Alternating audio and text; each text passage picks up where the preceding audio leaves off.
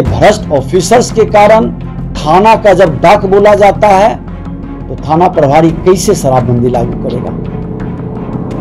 जिस थाने की डाक बोली जाएगी, थाना प्रभारी का नियुक्ति होगा, डाक बोल करके जो ज़्यादा माल देगा, उसकी, उस तरह के थाना देंगे, एसपी जाएँगे माल दे करके, ये सारे आरोप लग रहे हैं और ये आरोप हम नहीं लगा रहे हैं, उन्हीं के लोग लगा रहे हैं।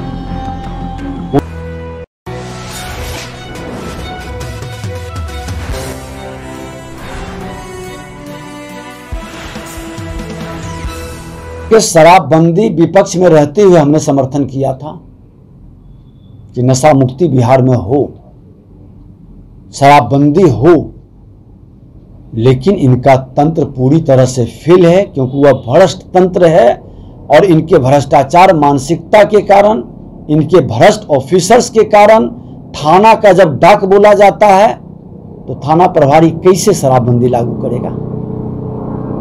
जिस थाने की डाक बोली जाएगी, थाना प्रभारी का नियुक्ति होगा, डाक बोल करके जो ज़्यादा माल देगा उसकी, उस तरह के थाना देंगे, एसपी जाएँगे माल दे करके, ये सारे आरोप लग रहे हैं और ये आरोप हम नहीं लगा रहे हैं, उन्हीं के लोग लगा रहे हैं।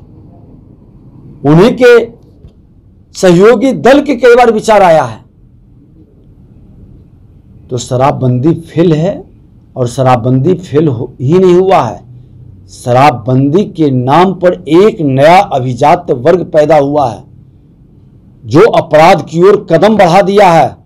कम उम्र के लड़के, इतना पैसा कमाया है कि गाड़ी भी घर खरीदा है और आर्म्स भी रखने लगा है। और इतना तुनुक मिजाजी है कि मिनट में वो क्राइम कर रहा है।